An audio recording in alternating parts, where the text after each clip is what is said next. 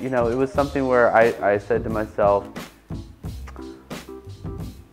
I can paint any figure that I want in Sarasota. I could do beach scenes, I could do the orchestra, I could do the opera, I could go to the airport and just sketch people, but it was the ballet that, that resonated with me and, and I think through the figures and, and, and their actions and what it is that they're doing, uh, it spoke loudly to me and I, it, it was a match.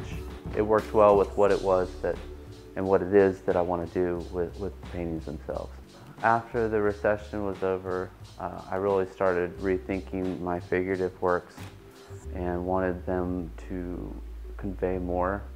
And after spending more time walking around in museums and looking at some of the major works there, uh, it became a realization to me that my figures needed to, to be doing something, serving some sort of a record. At the same time, I, have also noticed and have noticed uh, the importance of the performing arts in our community. And the ballet was one that always intrigued me because I never really attended the ballet, although um, the figures were there. And so I wanted to create something completely and entirely original for Sarasota of the ballet. I was fortunate enough to be able to, to, start going to the rehearsals and bring sketchbook with me and eventually a camera so that I could uh, gain reference uh, to create these compositions. Look at look at them, you know. You have this one looking at this one who's like focusing on over here.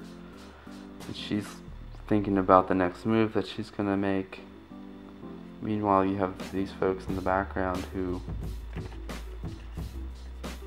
you know, the solitude of of him by himself, or this girl who's, you know, getting ready. Who knows what they're talking about? She's focused, you know, thinking about, you know, when she might go on. And so there's this whole kind of demystification of like this perfect ballerina because the strap broke and she's trying to help her before they, they gotta go and perform. So I think that that it, it's much like going into the artist studio like like we are now and, and seeing this before it's done.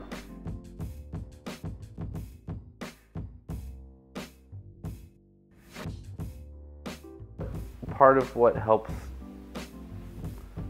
an artist such as myself or an artist like me thrive in a community like Sarasota or in Sarasota is through the support of not only my close and immediate family, but also through the support and understanding and collaboration of, of this community.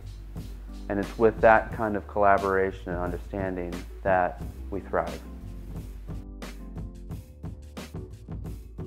For more information and an in-depth look at these stories and more, go online to yourobserver.com daily, like us on Facebook, and follow The Observer on Twitter and pick up a copy of the Longboat and East County Observer Wednesday and the Sarasota Observer and Pelican Press Thursday. For more videos and fresh local content, go to the Observer YouTube page and press subscribe. You, your neighbors, your neighborhood.